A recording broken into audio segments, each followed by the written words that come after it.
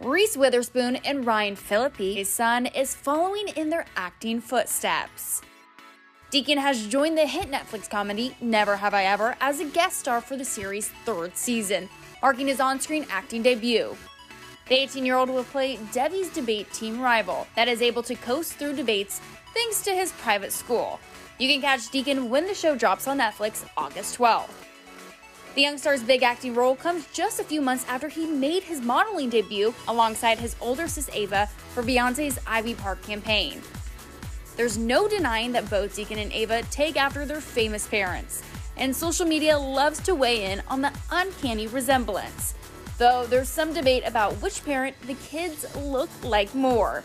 Ryan has said that he believes Deacon is the spitting image of Reese and Ava is his mini me others think just the opposite.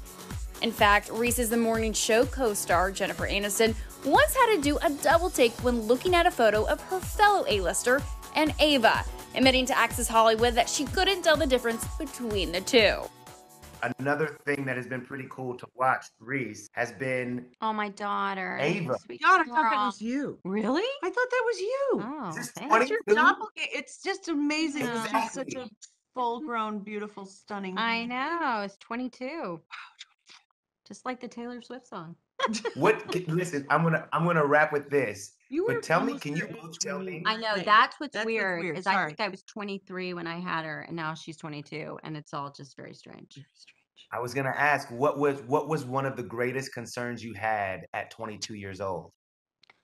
22. Well, I was just trying to work and figure out how to be a mom. I had a baby, so I was just trying to figure out how am I going to do all of this and you know, and still try and audition and have a career. So, That's a you did grow up fast. I did, yeah.